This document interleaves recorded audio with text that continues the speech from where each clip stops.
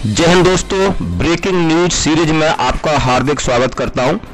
आज मैं कवर करूँगा महत्वपूर्ण तीन खबरों को।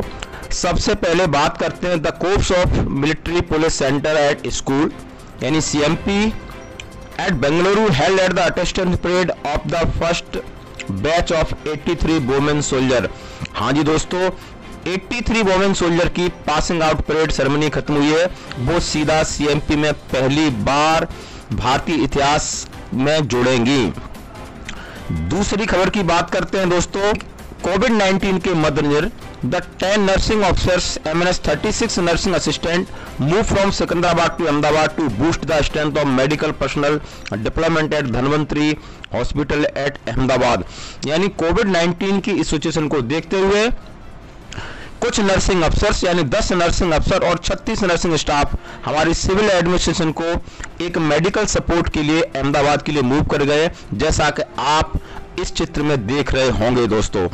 तीसरी बड़ी न्यूज़ के बारे में बात करते हैं दोस्तों। हौसला न छोड़कर सामना जीत जाएँगे हम। दोस्तों, मैं बात करने वाला हूँ दिल्ली कैंट में। Assistant to sending oxygen container receive from oxygen special train to various hospitals at Delhi यानी फौज ने एक ऑक्सीजन सिलेंडर्स की एक स्पेशल ट्रेन को रिसीव किया और सभी हॉस्पिटल्स में इन सिलेंडरों को पहुँचाया दोस्तों। ये थी तीन बड़ी खबरें।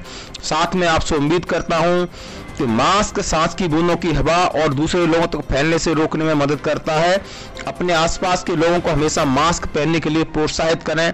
याद रखें, सफ़ाई, दवाई, कड़ाई, जीतेंगे कोरोना से लड़ाई। थैंक यू दोस्तों, जय हिंद, जय भारत, वंदे मातरम।